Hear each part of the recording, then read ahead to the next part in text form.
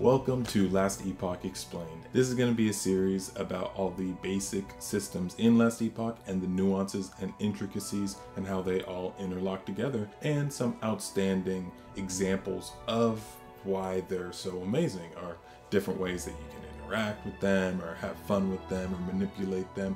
It's going to be a great time. And throughout the series, you will probably hear the catchphrase it just makes sense quite a lot because you can clearly tell the amount of effort and care that the team of 11th Hour Games put into Last Epoch.